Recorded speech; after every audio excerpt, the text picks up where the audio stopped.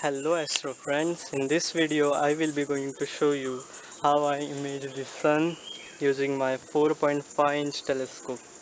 This is the 40mm solar filter and you can see it's expanded due to heat. This is my camera to which I have connected my laptop using this USB cable. You can barely see the screen. It's very very bright here you can see the sun overhead.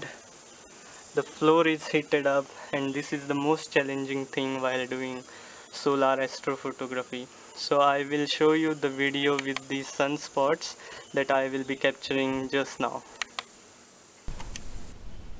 Yes that's beautiful this is what my camera is capturing right now and you can see the sunspots very clearly. Now let me show you another method which is a most budget method that you can try. Well this is the majestic setup and I have used this low power eyepiece connected or attached with the smartphone adapter to my smartphone.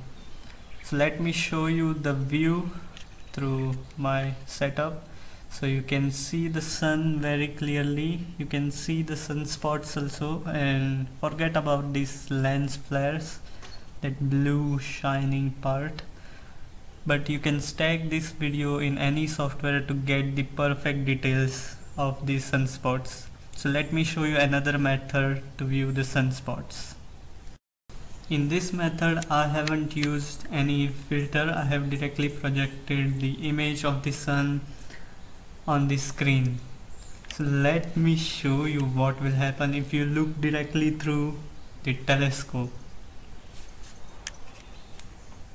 Do not try this with your setup. The matchstick is burning. You can see the smoke. Who doesn't love the matchstick smells it's burning.